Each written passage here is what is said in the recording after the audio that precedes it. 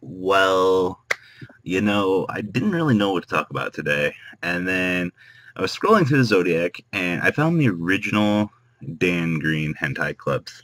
And I swear to God, I, I think one of these is from Bible Black. Could be ridiculously wrong. So, spoiler alert, we're about to talk about the voice of Yugi uh, when he asks you to click like a chicken. Um, if you guys want some really comic gold, um, look up Dan Green.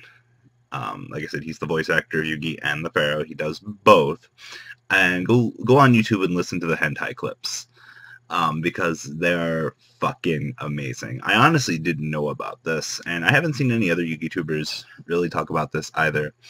Uh, but there's been some really good jokes um, coming out of this. Like when the Pharaoh asks you to cluck like a chicken, you fucking cluck like a chicken, or you bark like a dog um, and other shit like that. But I definitely think if you guys want some comic gold, um, definitely some things to uh, kind of ruin your childhood. Um, definitely look up Dan Green and the Cluck Like a Chicken.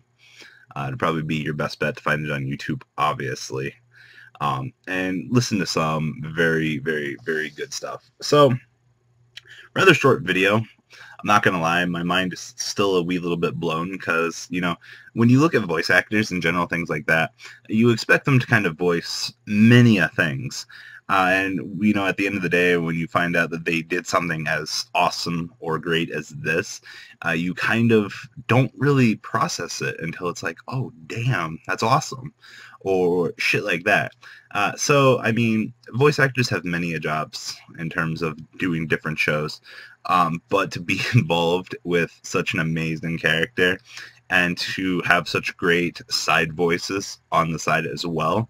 In terms of that i think it definitely adds into you know the character palette uh, and definitely helps you know the fans get a little bit more than what they were expecting um, in the long run. So guys leave a comment down below. Tell me what you guys think about yugi dubbing and hentai as well and enjoy having your mind blown if you decide to venture out and look into these. I hope you guys enjoyed this video. Please thumbs up this video to show your support. And please check out VanKohl40 for Cardfight Vanguard, MKohl Games for miscellaneous trading card games, and No Limit Gaming for a brand new series of Yu-Gi-Oh videos. Thanks for watching.